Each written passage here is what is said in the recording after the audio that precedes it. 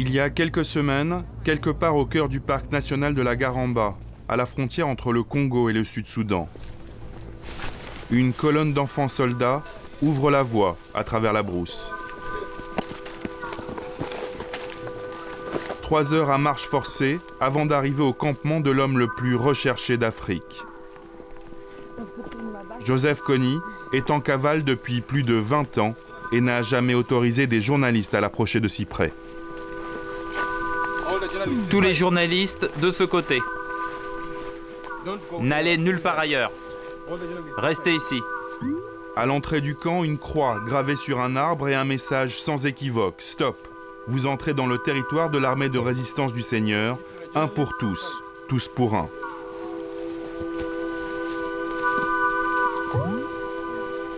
L'armée de résistance du Seigneur combat depuis 20 ans le régime du président de l'Ouganda. Une guerre sans merci qui a fait des dizaines de milliers de victimes et près de 2 millions de déplacés dans le nord du pays à majorité chrétienne. Voici une des rares photos disponibles de Joseph Kony, un gourou mystico-religieux persuadé d'avoir entendu le Christ lui ordonner d'envoyer une armée d'enfants, renverser le président ougandais pour imposer les dix commandements sur le pays. Plus de 20 000 enfants ont été enlevés dans leur village puis dressés à massacrer. Charlie a passé deux ans aux mains de l'armée du Seigneur.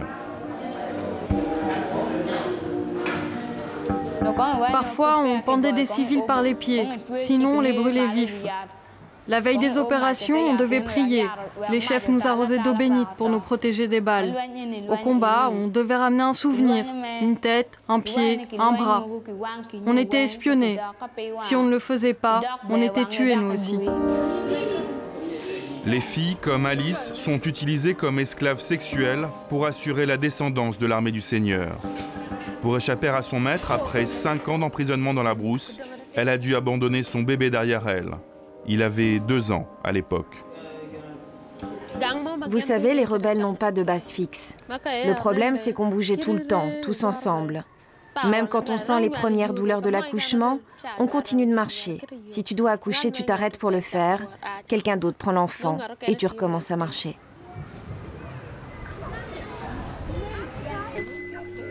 Fouille minutieuse à l'entrée du camp. Les rebelles se méfient de tout. Depuis plus d'un an, leur gourou, Joseph Kony, est inculpé de crimes contre l'humanité par la Cour pénale internationale de La Haye et il risque la prison à vie.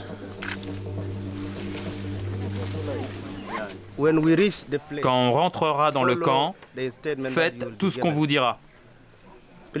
S'il vous plaît, écoutez bien ce qu'on vous dit. Si on vous dit de ne pas filmer, obéissez immédiatement. On est d'accord? En réalité, si nous sommes tolérés ici, c'est parce que nous accompagnons une délégation ougandaise venue proposer un pacte surprenant au chef de guerre.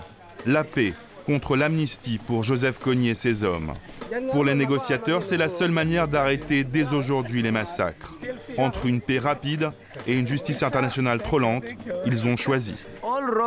Le message que nous envoyons aux criminels du monde entier n'est pas l'impunité. Ça, c'est intolérable. Mais il faut comprendre que nous plaçons la paix au-dessus de tout. Nous ne voulons pas que la situation s'aggrave à cause des décisions internationales. Deux millions de personnes ont déjà été déplacées. Est-ce que la Cour pénale internationale prendrait la responsabilité des 1000 personnes qui meurent chaque semaine dans le nord de l'Ouganda? Nous voulons la paix. Nous ne voulons plus voir mourir nos enfants. Nous voulons qu'ils aillent à l'école. Les enfants de Joseph Kony, eux, ne sont pas concernés par cet arrangement. Ils sont au moins une quinzaine dans le campement. Sans doute la garde rapprochée du chef de guerre. Au sein de la délégation, certains espèrent tout de même obtenir leur libération. On te remercie, Dieu, de bénir nos pourparlers futurs et pour qu'en notre cœur nous trouvions le chemin pour arriver à la paix. Je te demande tout ceci au nom de Jésus-Christ. Amen.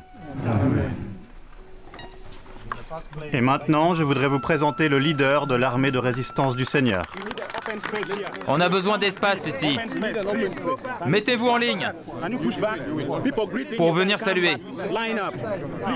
Dans la bousculade, Joseph Kony fait son apparition, en tenue militaire, sans dreadlocks et tout sourire avec sa petite moustache.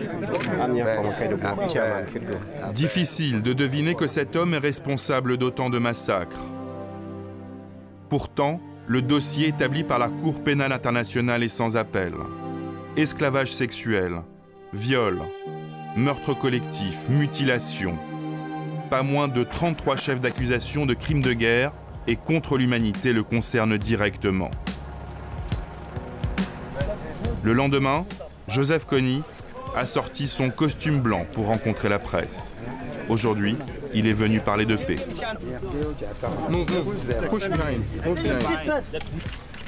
Maintenant, chaque journaliste a droit à une question. Mon nom est Valérie Dupont. Je suis journaliste pour la télévision française. Monsieur Joseph Kony, qu'avez-vous à dire aux gens à travers le monde qui pensent que vous êtes l'incarnation du mal? Je suis un homme, un être humain. Je suis Joseph Kony. Les mauvaises choses que les gens disent sur moi, c'est de la propagande. On a tout fait pour salir mon nom, pour que les gens me rejettent et ne m'aiment plus comme un être humain. Monsieur Kony, et pour les atrocités dont vous êtes accusé Ces atrocités commises en Ouganda, ce n'est pas moi, ni mes hommes qui les ont commises. Tous les massacres ont été commis par le gouvernement ougandais. Vous avez enlevé tellement de jeunes enfants. Quand allez-vous leur permettre de rentrer chez eux? Je n'ai jamais forcé personne à me suivre dans le bush. Et il n'y a aucun enfant parmi mes hommes ou dans mes camps. Comment tu t'appelles? Mon nom c'est John. Comment? John. John. Quel âge as-tu, John? Quel âge as-tu? 15 ans 16 16 ans. 16 ans? Oui. John a 16 ans et il est au service de Joseph Kony depuis déjà deux ans. Lui en bleu, c'est Samuel, 13 ans, dont 5 passés dans la brousse. Comme tous les enfants, il n'en faut pas beaucoup pour qu'ils se mettent à jouer à la guerre, sauf que ces balles à lui ne sont pas en plastique. Pendant ce temps-là, Joseph Kony continue de nier l'évidence. Accepteriez-vous de comparaître devant la Cour pénale internationale? Moi? Oui. Offusqué, Joseph Kony. Non, non, non. Pourquoi pas? Parce que je n'ai rien fait. Et surtout déstabilisé par ces étrangers venus lui demander des comptes. Bon, ça suffit. C'est vrai qu'aujourd'hui, la seule chose prévue au programme, c'était un appel à la paix et quelques excuses en échange d'une amnistie. Pourquoi ne rendez-vous pas les armes Et qu'allez-vous faire maintenant? No comment. Je n'ai rien à vous dire. C'est à ce jour la seule apparition de Joseph Kony en public. Il a évidemment refusé de libérer les enfants soldats rencontrés à ses côtés. Méfiant, le chef de guerre continue de se cacher et il a sans doute raison car pour la Cour pénale internationale, promesse d'accord de paix ou pas, il n'est pas question de suspendre pour l'instant le mandat d'arrêt international lancé contre lui.